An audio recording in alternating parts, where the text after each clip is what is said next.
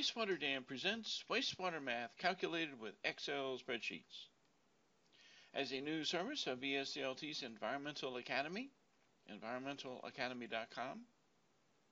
Today's example, calculate gallons of water for specific percent solution.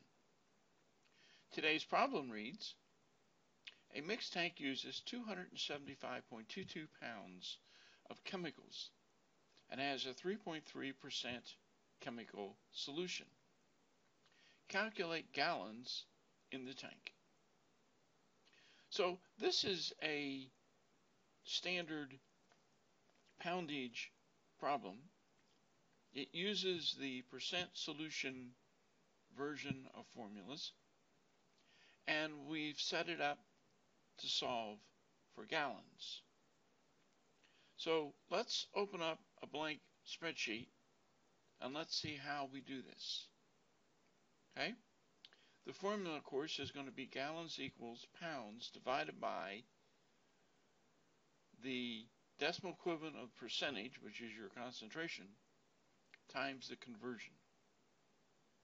So let's see how we do this in an Excel spreadsheet. So you can go to a blank spreadsheet, you can put your cursor in C1, and you can actually type this description, cal calculate gallons using percent solution. And you can put your cursor in A1, and you can set it as whole numbers with commas for every thousand, and then you can have it as bold and centered. And in the formula bar, you can type in this formula. Equal sign, two open parentheses, 2.275.22. Close parenthesis, division key, three open parentheses, 3.3, close parenthesis, division key 100, close parenthesis, multiplication key 8.34, 2, close parentheses.